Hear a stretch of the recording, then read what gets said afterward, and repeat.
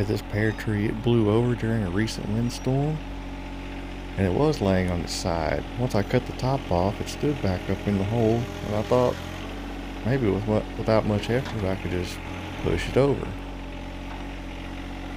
But after a few tries of that, I decided to just go ahead and do it with the backhoe. And from the time I started recording till the tree broke loose was actually about six minutes.